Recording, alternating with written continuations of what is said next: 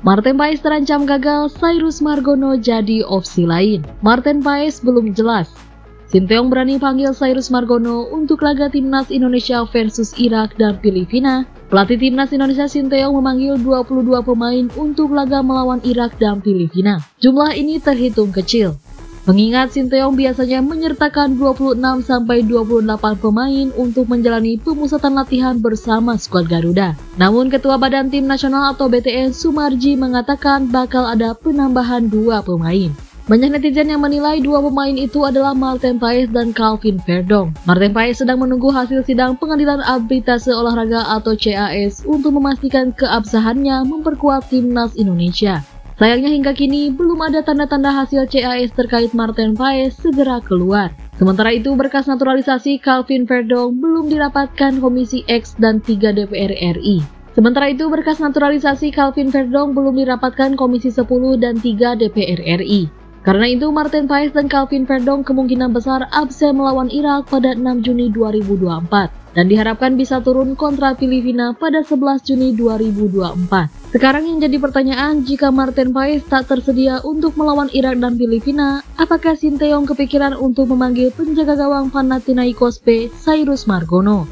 Sekadar diketahui, Sinteyong sejauh ini hanya membawa dua penjaga gawang utama untuk laga melawan Irak dan Filipina, yakni Hernando Ari dan Adi Satrio. Tentunya riskan jika hanya membawa dua penjaga gawang, mengingat dua kiper itu bisa sewaktu-waktu mengalami cedera. Karena itu paling realistis bagi Sinteyong adalah menyertakan satu penjaga gawang lagi. Sosok Cyrus Margono dapat dikedepankan pelatih 53 tahun tersebut.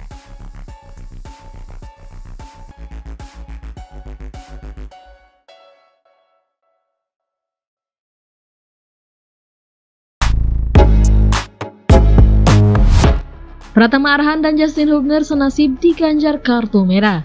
Dua bek timnas Indonesia Justin Hubner dan Pratama Arhan diganjar kartu merah saat membela klubnya pekan lalu. Justin Hubner mendapatkan kartu merah saat membela Cerezo Osaka menghadapi Ryukyu di Jelly Cup 2024 di Stadion Tapi Kenso Hyagon Okinawa pada Rabu 22 Mei lalu. Dalam pertandingan tersebut, Justin Hubner dipercaya tampil sebagai starter di posisi bek tengah. Sayangnya, Hubner hanya bermain 17 menit lantaran diganjar kartu merah pada menit ke-17. Kartu merah itu didapat usai Hubner menarik pemain depan Ryukyu di luar kotak penalti Cerezo Osaka saat pemain lawan memiliki peluang untuk mencetak gol. Tanpa ampun, wasit Akihiko Ikeuchi langsung mengganjar Hubner dengan kartu merah.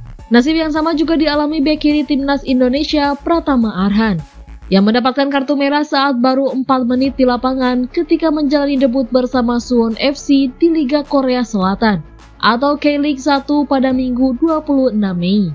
Dalam pertandingan itu, Arhan masuk sebagai pemain pengganti pada menit ke-73 menggantikan Jong Dong Ho dan bermain di posisi bek kiri. Namun baru 4 menit berada di lapangan, Arhan langsung diusir wasit karena mendapatkan kartu merah. Kartu merah itu didapat usai Arhan dilaporkan VAR melakukan pelanggaran berbahaya kepada pemain Jeju United Dream Changwoo. Kartu merah dalam waktu singkat yang didapat dua bek timnas Indonesia itu bisa menjadi pelajaran bagi kedua pemain jelang membela tim merah putih menghadapi Tanzania pada laga uji coba 2 Juni. Kemudian dilanjutkan timnas Indonesia melawan Irak dan Filipina pada kualifikasi Piala Dunia 2026 pada 6 dan 11 Juni mendatang.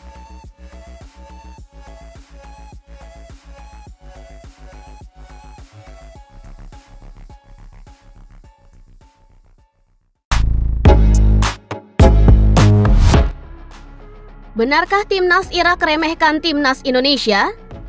Timnas Irak disebut telah lupa membawa dua pemain penting untuk menghadapi timnas Indonesia.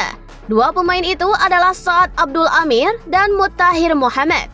Timnas Irak akan berhadapan dengan Indonesia dalam lanjutan putaran kedua kualifikasi Piala Dunia 2026 zona Asia.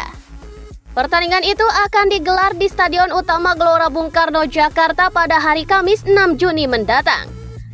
Singa Mesopotamia, julukan timnas Irak, sudah memanggil sebanyak 25 pemain untuk pertandingan itu.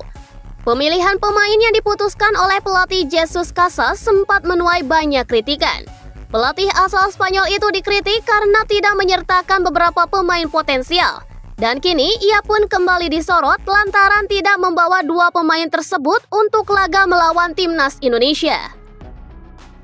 Menurut laporan Win-Win, hal itu berdasarkan pemilihan pemain untuk Olimpiade Paris 2024. Dan timnas Irak U23 untuk Olimpiade Paris tersebut diperkirakan diisi oleh banyak pemain berbakat. Namun dua di antaranya justru seperti dilupakan oleh pelatih Jesus Casas. Win-Win pun menyoroti tidak dibawanya sosok saat Abdul Amir dan Muttahir Muhammad. Sementara itu, timnas Irak sendiri sejatinya sudah bisa memastikan diri untuk lolos ke putaran ketiga kualifikasi Piala Dunia 2026 zona Asia. Dan tim besutan Jesus Casas itu mengamankan tiket setelah meraih 12 poin dari empat kemenangan di grup F.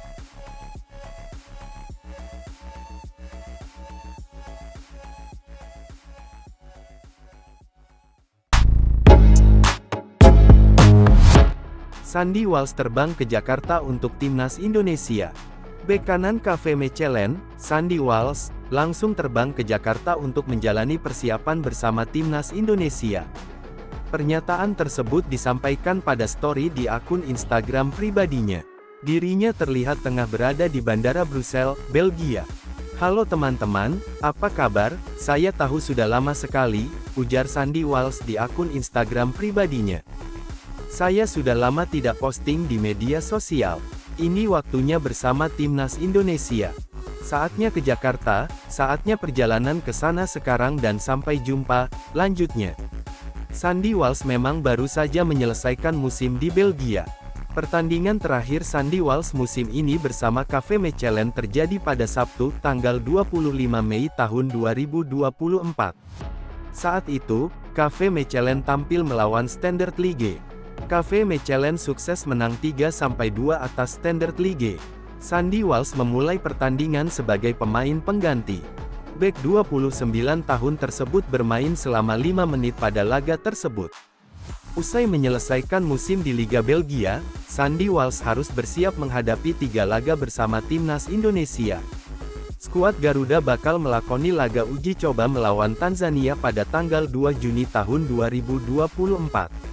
Timnas Indonesia kemudian akan bertarung pada dua laga penentuan menuju putaran ketiga kualifikasi Piala Dunia 2026 zona Asia. Timnas Indonesia bakal menghadapi Irak dan Filipina pada 6 dan tanggal 11 Juni tahun 2024. Tim asuhan Shin Taeyong menjamu dua tim tersebut di Stadion Utama Gelora Bung Karno, Jakarta.